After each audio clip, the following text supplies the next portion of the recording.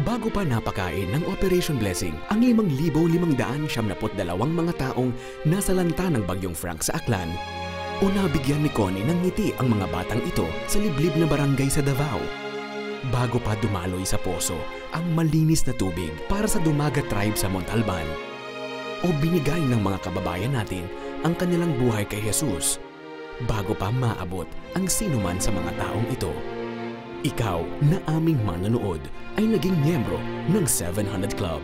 Hatid namin ang taos-pusong pasasalamat mula sa libu-libo nating kababayan na inyong natulungan.